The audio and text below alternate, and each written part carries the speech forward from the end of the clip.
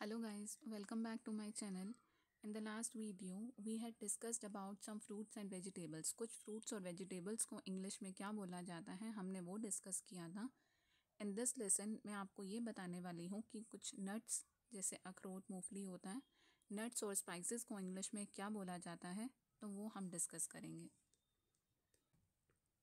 सबसे पहले हम कुछ नट्स के बारे में डिस्कस करेंगे कि जो नट्स होते हैं अलग अलग नट्स के बारे में बात करेंगे, जिनको हम इंग्लिश में क्या कहते हैं। So the first nut is walnut सबसे पहले क्या है वॉलनट वॉलनट को हिंदी में क्या कहते हैं? अखरोट।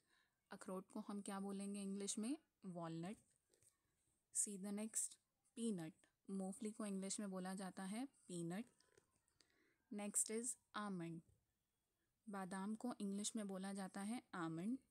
नेक्स्ट इज़ कैश्यू, काजू। काजू को इंग्लिश में बोलते हैं cashew. And next is pistachio, पिस्ता। जो पिस्ता होता है, उसे हम इंग्लिश में बोलते हैं पिस्ताचियो। अब हमने कुछ नट्स के नाम भी जान लिए हैं तो क्यों ना तड़का लगाया जाए। तो अब हम मसालों के स्पाइसेस के नाम भी सीख लेते हैं। So first one is peppermint peppermint पुदीना पुदीना जो होता है, उसे इंग्लिश में कहा जाता है peppermint next is black pepper काली मिर्च. काली मिर्च को इंग्लिश में कहा जाता है black pepper next is turmeric हल्दी. हल्दी को इंग्लिश में बोला जाता है टर्मरिक नेक्स्ट इज़ कार्डमम इलायची. इलायची को हम इंग्लिश में बोलते हैं cardamom next is bay leaf तेज पत्ता. जो जनरली हम क्या करते हैं, अपनी सब्ज़ी में, अपनी सब्ज़ी में हम जनरली उसे फ्लेवर के लिए यूज़ करते हैं। See the next one clove लौंग को क्लोव बोला जाता है।